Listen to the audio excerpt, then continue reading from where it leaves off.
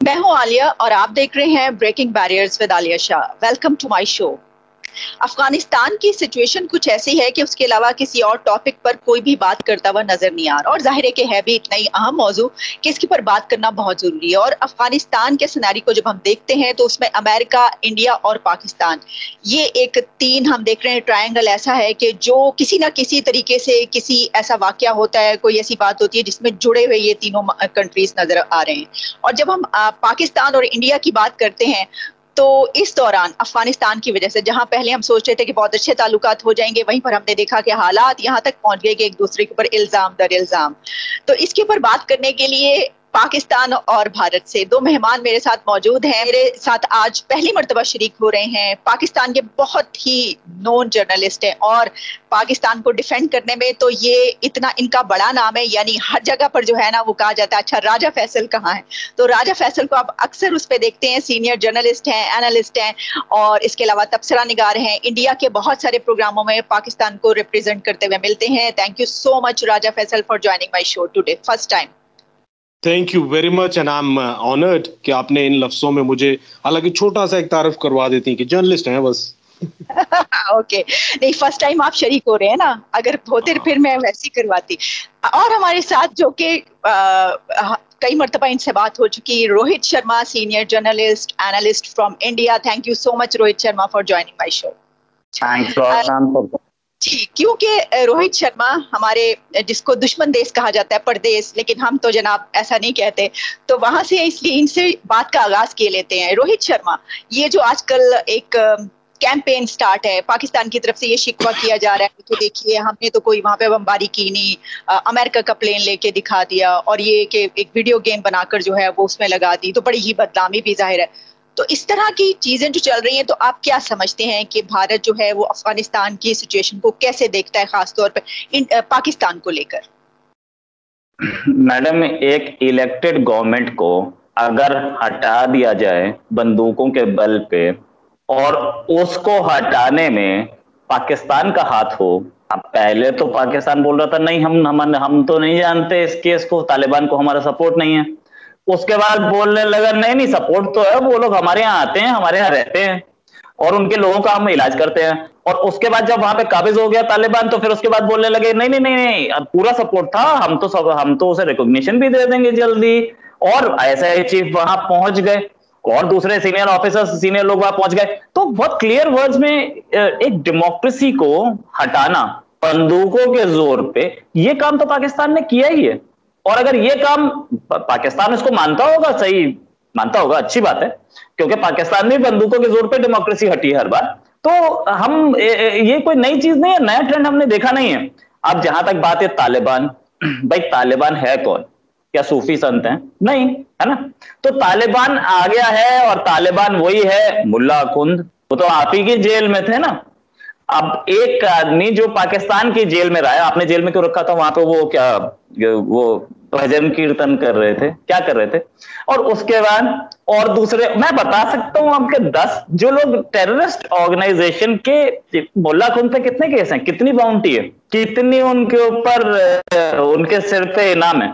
तो एक एक टेररिस्ट आके बैठा है वहाँ पे और टेररिस्ट गवर्नमेंट है और उसको पाकिस्तान का क्लियर सपोर्ट है।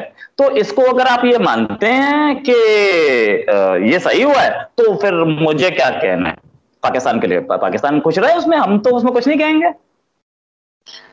ठीक है आपकी बात मुझ तक जो पहुँची मुझे उससे ये आ, मिला। वो कि मेरा सवाल तो ये था कि भाई जो वो जो एक चलाई गई जिसके ऊपर पाकिस्तान को शिकवा है कि ये वीडियो गेम क्यों चला दी? लेकिन आपने ये कहा कि बिल्कुल सही कहा कि वो जो लोग हैं वो पाकिस्तान की जेलों में रहते रहे हैं और उनको दहशतगर्द कहा जाता है।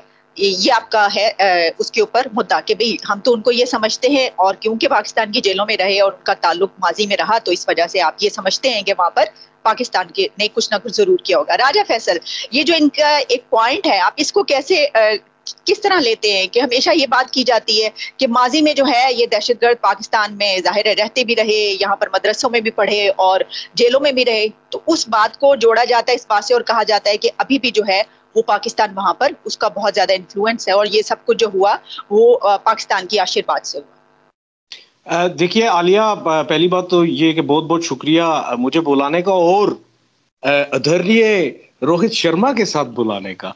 और पहली बात तो ये है कि देखें अगर अफ़गानिस्तान की आप बात करें, इन्होंने एक बड़ी शुरू में बात की कि जमहूरी बात की कि जमहूरियत जमहूरियत थी उधर, डेमोक्रेटिक गवर्नमेंट थी।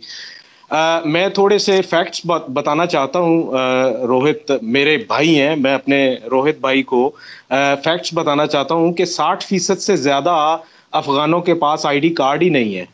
और 9 फ़ीसद के करीब अफगान जो हैं, वो वोटर रजिस्टर्ड थे। अब 9 फ़ीसद में से कितने फ़ीसद लोगों ने वोट दिया होगा अफ़गानिस्तान में और ये गवर्नमेंट आई होगी? और ये सारे के सारे वो फेसेस थे जो कि 9/11 के बाद पोस्ट 9/11 में, ये बगराम एयरबेस पे सी वन थर्टीज में उतर के तो आते साथ ही इन्होंने ऑफ़िस संभाल लिए थे।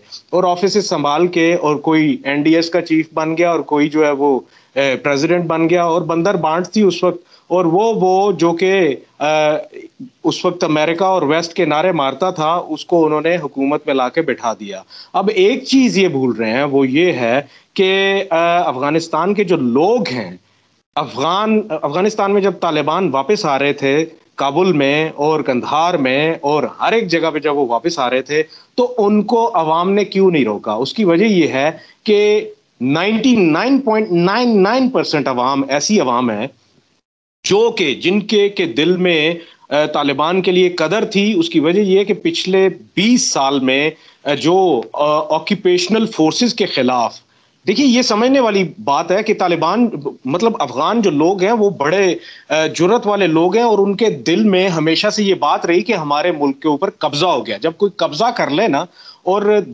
जो भी देश होता है, इंसान का वो धरती माँ की जैसे होता है। अगर मेरा देश धरती माँ जैसा है, रोहित का देश धरती माँ जैसा है तो किसी अफगान के लिए भी जो देश है, वो धरती माँ जैसा होता है। जब वहाँ पे कोई बाहर से आके कब्जा कर लेगा ना तो वो उनका भी साथ नहीं देगा, वहाँ का नागरिक। और उनके फैसिलिटेटर्स का भी साथ नहीं देगा। और उनके जो फैसिलिटेटर्स हैं वो आपको जब अफ़गानिस्तान तालिबान ने काबुल में पैर रखा है तो वो फिर आपको सी सेवनटीन के साथ चिपटे हुए जो लोग नज़र आते रहे और ऊपर से गिरते हुए नज़र आते रहे ये वही हैं जो कि फैसिलिटेट करते रहे अमेरिकन को। अब बात आती है पाकिस्तान की कि पाकिस्तान में वो आके रहे। देखें पाकिस्तान ने उनको कोई ए, ए, कोई इनविटेशन नहीं भेजी थी। साला साल से वहाँ पे जंग चलती आ रही थी। और इकोनॉमिक वजूहत की बिना पे और सिक्योरिटी की वजूहत की बिना पे वो माइग्रेंट होके पाकिस्तान में आए थे और जब वो रेफ्यूजीज बन के पाकिस्तान में आए तो भाई हम तो उनको एक तो ह्यूमैनिटेरियन कॉज भी है और साथ में ये है कि इस चीज़ को तो यूनाइटेड नेशन ने भी इंडोर्स किया कि Pakistan is the biggest contributor towards refugee crisis उनको कंट्रोल करने में। तीन मिलियन अफगान जो हैं, वो अगर पाकिस्तान में आए हैं और हमने उनको फैसिलिटेट किया है और किसी ने भी आज तक ऐसी तस्वीर शेयर नहीं की जैसी कि हमें आज अमेरिका से कुछ लोग शेयर करते हुए नज़र आ रहे हैं कि जो एक आलू दिखा रहे हैं प्लेट में पड़ा हुआ और दो गाजरें और कह रहे हैं कि ये मुझे खाने को दिया जा रहा है और मैं यहाँ पे ठीक नहीं हूँ। कभी किसी ने पाकिस्तान से ये कहा था? उसकी वजह यह है कि we never treated them like refugees we treated them like our brothers और इस वजह से हमें प्रॉब्लम्स भी देखने पड़े। पिछले 20 साल में हमने अस्सी हज़ार लोग मरवाए अपने। और साथ में 220 billion dollars of our economy we just lost it और इस सब के तनाजुर में भी हमने उनको भाई कहा। वो हमारे भाई हैं, थे और हमेशा रहेंगे। हाँ जहाँ तक बात है भारत की, सब, सबको ये सोचना चाहिए कि भारत वहाँ पे क्यों मौजूद था। किस वजह से मौजूद था? अगर तो ये ये कहना चाहेंगे कि भारत इस वजह से मौजूद था कि भारत अपने पड़ोसियों का बहुत ख्याल रखता है तो फिर मैं इनसे एक सवाल करूँगा कि अगर भारत इतना ही अपने पड़ोसियों का ख्याल रखता है और चौथे मोहल्ले में जो पड़ोसी है उसका ख्याल रखता है तो फिर इन्होंने नेपाल का बॉर्डर बंद क्यों कर दिया था जब वहाँ पर जलजला आया था? तो अब नेपाल का भी बताएँ कि इतने आपके वो जो विचार थे वो किधर गए उस वक्त? तो ये मैं कहना चाह रहा हूँ कि जो भी पाकिस्तान के ऊपर डाली गई वो कुदरत की तरफ़ से आई और पाकिस्तान का इसमें कोई हाथ नहीं है। हमने सिर्फ़ और सिर्फ़ अगर हमने उनको जेल में भी डाला तो वो इस वजह से कि पाकिस्तान एलाय था तो उसमें भी कोई ना कोई मसलहत थी। उनको जेल में डाला कि हमारे मुल्क में जो दहशत गर्दी हो रही थी, उसमें किसी भी तरीके से बढ़ावा ना किया जा सके और पाकिस्तान में दहशत गर्दी को कंट्रोल किया जा सके। जी over to you Rohit Sharma. उनका ये कहना है कि ये तो जो माजी चला आ रहा है, ये तो एक पाकिस्तान खुद विक्टिम ऑफ़ सर्कमस्टांसेस है। कि ये कुछ हुआ अपने लोग मरवाए गए और उनको तो बड़ी अच्छे तरीके से रखा गया। और ज़ाहिर है कि जब ये सारा था तो फिर उनका ताल्लुक यहाँ से बनता है लेकिन इसका मतलब ये तो नहीं है कि ये इल्ज़ाम लगाया जाए। क्या कहेंगे इस पे आप? इस इल्ज़ाम को कैसे आप देखें राजा फैजल साहब अगर अपना करियर सेल्स में बनाते ना तो इनसे बढ़िया सेल्स का आदमी नहीं था। ये क्या कर रहे हैं? मिट्टी को भी सोना बता के बेचने की कोशिश कर रहे हैं। असलियत ये है राजा फैजल साहब 9 परसेंट लोगों को आपने बताया 9 परसेंट लोगों के पास आई कार्ड थे तो वोट कितनों ने किया था? तालिबान को क्या 10 परसेंट ने किया था? तालिबान आ गया तो आप नौ परसेंट को ये तो नहीं अगर पूरे अगर पूरे अफ़गानिस्तान में इनको किसी ने भी नहीं रोका तो इसका मतलब यह है कि पूरे का पूरा अफ़गानिस्तान इनके साथ था। हाँ ये बात सही है। अब अब अगर बांग्लादेश वॉर में हमें किसी ने नहीं रोका इसका मतलब पूरा बांग्लादेश हमारे साथ था। ये जब आर्म्ड तो, आर्मी तो आती है जब हथियार आता है आपकी आर्मी ने भी नहीं रोका हथियार डाल दिए। मतलब पाकिस्तानी आर्मी भी इंडिया के साथ थी सरेंडर कर दिया सीधे सीधे है ना? देखिए, जब आर्म्ड आर्मी आती है, जब आर्म्ड आदमी आता है तो कोई नहीं रोकता है। हमें कोई जुबिलिएशन के शॉट्स नहीं देखे कि तालिबान आ गया, लोग वहाँ पे जश्न मना रहे हो, ऐसा हमने नहीं देखा। जहाँ तक बात यह है कि 9 परसेंट लोगों ने वोट दिया तो इसे तो दो, एक ने भी नहीं दिया। अब बोल रहे हैं बंदर बाट तो इस बार क्या हो रहा है? ये भी तो बंदर बाट है अकुंद को ये बना दो और वो तनकजाई को वो बना दो।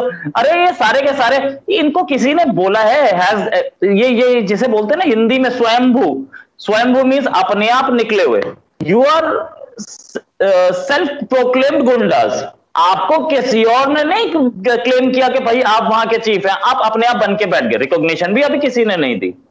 अब जहाँ तक बात है, तालिबान के लोग हमारे दिल में लोगों के दिल में तालिबान के लिए कदर थी। भाई, हमने ऐसा तो देखा नहीं। कोई कोई कोई जुबिलिएशन शॉट्स हमें नहीं दिखे। वहाँ के लोगों ने कभी ये नहीं बोला वेलकम तालिबान या ऐसा ही होता कि कांधार पे कब्जा हुआ होता तो कांधार में जाकर के हमने देखा हो बैनर्स लगे होते, कांधार से के लोग साथ मिल करके चले होते इधर की ओर, काबुल की ओर। नहीं था नहीं था। अब जहाँ तक बात यह कि बाकी जो आदमी गिर रहे थे, वो गिर कौन रहा था, पता है? वो अफ़गानिस्तान की सॉकर टीम का प्लेयर था जो भाग रहा था वो गिरा था। अब सॉकर टीम का प्लेयर अगर अमेरिका को काबिज कर सकता है या अमेरिका को वहाँ पे रूल करने सपोर्ट कर सकता है फिर तो भाई मुझे नहीं पता। फिर तो आप सॉकर टीम पाँच दस बना लीजिए आपको आप दस जगह कर जाएँगे काबिज हो जाएँगे। देखिए ये सारी चीज़ें जितना भी हो मैं आ, आपने बोला हमने अस्सी हज़ार लोग मरवाए वहाँ पे। भाई आपने क्यों मरवाए? अस्सी हज़ार लोग? आप कश्मीर को ज़्यादा समझते हैं तो कश्मीर में भेज देते हैं। आप चाह रहे थे कश्मीर आपका है। अफ़गानिस्तान से आपका कोई लेना देना नहीं, आपकी ज़मीन नहीं। आपने कश्मीर में अस्सी हज़ार भेजे नहीं भेजे। क्यों? क्योंकि आप, उसे तो आप अपनी ज़मीन क्लेम करते हैं। जिसकी, जो आपकी नहीं, किसी और की ज़मीन, वहाँ अस्सी हज़ार मरवा दिया आपने। भाई, ये ये ये एक्सप्लेनेशन जो हैं, ये यूजलेस एक्सप्लेनेशन वहाँ के लोग, अफगानी लोग यहाँ आए, हम लोग भाई माना उन्हें। भाई तो आपने माना, हमने मान लिया। लेकिन भाई मानने के साथ साथ उनको जेल में डालने के लिए किसने बोला था? आपने बोला कि भाई हमने उसे जेल में डाला और दहशतगर्दी ना हो। चलिए, दहशतगर्द तो माना आपने। तो आप क्या उसे प्राइम मिनिस्टर बना के दहशतगर्दी खत्म हो जाएगी? जिस जिसको आपने जेल में डाला था दहशतगर्दी के लिए, उसको आपने प्राइम मिनिस्टर बना दिया। अब तो वो और करेगा। तो ये चीज़ें, ये सारे एक्सप्लेनेशन भाई आपने, आपके पास रेफ्यूजीज आए यूएन ने माना, बड़ा अच्छा काम किया। इस बार क्यों बॉर्डर सील कर दिया भाई आपने? बॉर्डर बार सील हो और अच्छा काम करते हम मानते और आते आना चाह रहे हैं कि, कि कितना कितना हो रहा है वहाँ पे बॉर्डर पे लोग घुसना नहीं चाह रहे कारों की लाइन लगी हुई है क्या शॉट्स आ रहे हैं वहाँ से? भाई ऐसा नहीं है हमने नेपाल का बॉर्डर नहीं आज के टाइम पे हमने बॉर्डर सील नहीं किया था नेपाल ने सील किया था और नेपाल ने इसलिए सील किया था कि इंडियन वो ना जाए इंडियन मीडिया ना जाए मैं उस समय एक चैनल में काम कर रहा था। उस चैनल की भी, उस चैनल की भी वो भी बॉर्डर पे रोक दी गई थी। हमें बहुत मुश्किल से वापस हाँ बहुत मुश्किल से हमने अंदर घुसाई थी वहाँ पर बात करके। तो इंडिया का ह्यूमैनिटेरियन एड उस समय भी चल रहा था वहाँ पे। अब जहाँ तक बात है कि देखिए, ये जो जो सेल्स का काम है ना, ये सेल्स का काम सेल्स वालों पे छोड़ दीजिए। आप जर्नलिस्ट रहिए। असलियत ये है कि आप एक एक और कंट्री पे कब्जा कर रहे थे। कब्जा हो गया। विक्ट्री आपने ले ली, ठीक है? लेकिन इस विक्ट्री के बाद जो आने वाला है, उसको आप सोच नहीं पाए वैसे पाकिस्तान सोचता भी कभी नहीं। प्रॉब्लम है इसके इतनी इतनी, मैं आपको, आप तो आप तो इतने स्ट्रॉन्ग एनालिस्ट हैं। 1965 वॉर हुई थी, इस प्रिजम्पशन पे हुई थी कि इंडिया कोई और बॉर्डर नहीं खोलेगा, कश्मीर पे ही होगी, दूसरा बॉर्डर खोलते ही कहानी बिगड़ गई। और कहानी बिगड़ी तो उसके बाद अयूब खान साहब ने बोला कि हम 10 लाख कश्मीरियों के लिए 10 करोड़ पाकिस्तानी नहीं मरवा सकते। सीज फायर हो गया। 71 वॉर प्रिजम्पन ये था कि अमेरिका कूदेगा वॉर में। प्रिजम्पन पे आप हर चीज़ प्रिजम्पन पे करते हैं। नहीं कूदा फिर उसके बाद प्रिजम्पशन ये था और आपके जो ईस्टर्न कमांड के चीफ थे ए के नियाजी उन बेचारों को तो मतलब आपने बिल्कुल बर्बादी कर दिया। ए, एक दिन चिट्ठी लिखी you are the greatest son of soil और तीन दिन बाद उसको बोल दिया, अपने आप को देख लो, हम नहीं जानते कुछ भी। और चौथे दिन सरेंडर कर दिया तो वो ग्रेटेस्ट सन ऑफ़ सॉइल चौथे दिन गद्दार बन गया। उस आदमी ने सरेंडर क्यों किया था? उस आदमी ने सरेंडर इसलिए किया था कि उसे पता था मेरे नब्बे हज़ार लोग यहाँ मार दिए जाएँगे। या बंगालीज उन्हें छोड़ेंगे नहीं। इसलिए वरना एक लेफ्टिनेंट जनरल सरेंडर कर जाए वो वो अपने आप को शूट कर लेगा सरेंडर नहीं करेगा। उसने नब्बे हज़ार लोगों के लिए अपनी इतनी इंसल्ट सही। सरेंडर आसान काम नहीं होता किसी भी लेफ्टिनेंट जनरल के लिए। शर्मा जी क्या कहते हैं वो इसके बारे में? इसकी वजह ये कि हम आ, मैं ये चाहूँगी क्योंकि हम अफ़गानिस्तान इस वक्त की जो करंट सिचुएशन इस पे कर रहे हैं। लेकिन मैं मैं मैं बता रहा था प्रिजम्पशंस पे पाकिस्तान हमेशा खेलता है।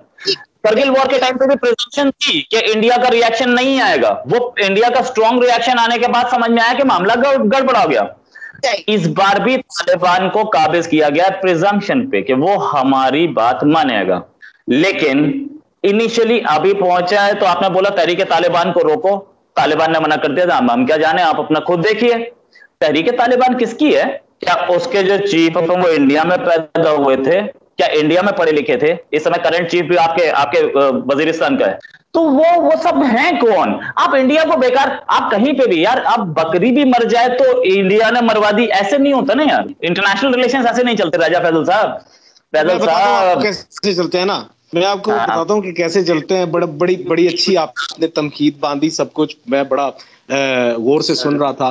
पहली बात तो ये है कि आपने सेवेंटी वन का आप हर एक जगह ज़िक्र करते हैं, उसमें आप हमेशा कहते हैं कि हमने सरेंडर कर दिया था। भाई, हमसे एक सरेंडर हो गया। आपने हमें रगड़ रगड़ के उसी सरेंडर को आपने पता नहीं क्या बना दिया। हालाँकि आपको तो ये पता होना चाहिए कि आपके यहाँ तो हज़ार साल की तारीख में सरेंडर ही सरेंडर होते रहे हैं, सैंतालीस से पहले जितने भी हुए सरेंडर ही हुए आपकी तरफ़ से।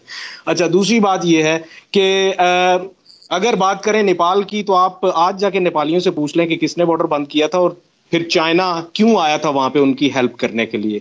अगली बात आप अगर अफ़गानिस्तान में आए तो देखिए, हम हम प्रिजम्पशंस पे चलते हैं, लेकिन किसी हद तक चलते हैं और हर एक हर एक को प्रिजम्पशंस पे चलना पड़ता है। वैसे भी पाकिस्तान पाकिस्तान की और पाकिस्तान की आर्मी की और पाकिस्तान की आईएसआई की हमेशा से ये रवायत रही है कि वो एक शेर है ना कि बेखतर कूद पड़ा आतश नमरूद में इश्क।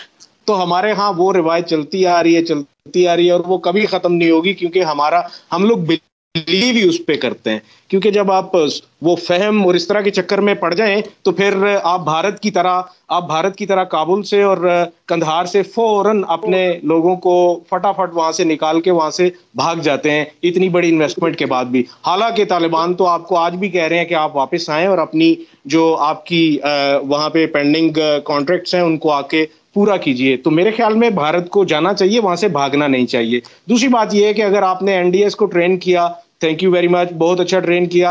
आज उनका आपने प्रदर्शन देख लिया। फिर आपने उनके ऑफिसर्स को ट्रेन किया। इंडियन आर्मी के ऑफिसर्स को ट्रेन किया देहरादून में। अभी भी शायद 80 जो थे वो वहाँ पे ट्रेनिंग कर रहे थे। और उससे पहले 40 परसेंट जो ऑफिसर्स हैं उनकी आर्मी के तीन लाख पैंसठ हज़ार आर्मी थी ए की। अफगान नेशनल आर्मी तीन लाख पैंसठ हज़ार थी।